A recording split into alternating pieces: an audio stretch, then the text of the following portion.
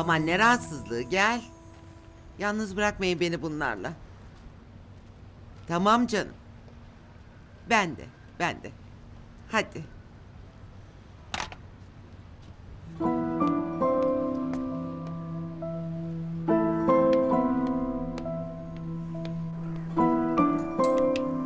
Fikret, zeytinyağlının soğanını bolca koy kızım. Üç tane koydum yetmez mi? Gel, acıktın mı? Ablamın kurabiyelerinden yerim. Ama doyurma karnını onlarla. Yemek hazırlayayım sana. Yok anneciğim iyi bunlar. Kadetin çıkmış zaten. Çay da koy kendine. Alırım. Etli nohut yapıyorum akşama. Yanına da pilav. Hmm. Salatalık turşusu da almıştı baban. Senin sevdiklerinden.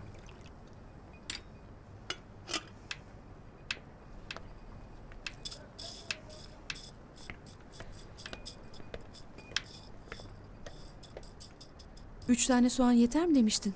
Yeter yeter.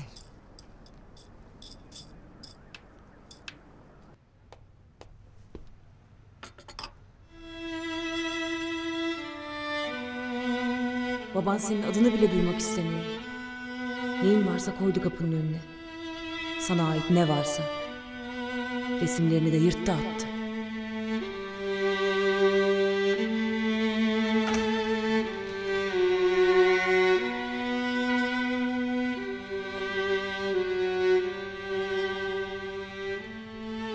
Bir çerçeveden çıkarılmak çok ağır bir ceza.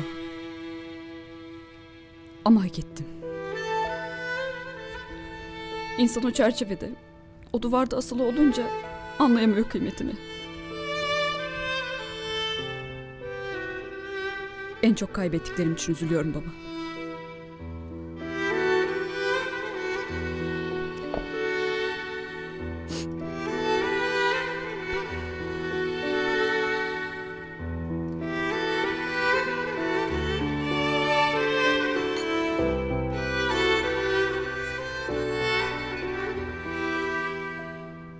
Okulu aksatmayacaksın değil mi? Aksatmayacağım. Ama part time'da olsa bir işte çalışmak istiyorum baba. Barda olmaz. Hani gece çalışmanı istemiyorum. Okul çıkışlarında hafta sonları mutlaka çalışmam lazım. Bir yayın eviyle daha çalışmaya başladım. Yeni bir yayın evi. Genç insanlar çalışıyor. Dergiler çıkarıyorlar. Ben de dergilere çeviriler yapıyorum. Çok güzel. Yarın bir konuşurum sahibiyle. Belki part time çalışacak elemana ihtiyaçları vardır. Çok sevinirim baba. Çok teşekkür ederim. Konuşurum yarın.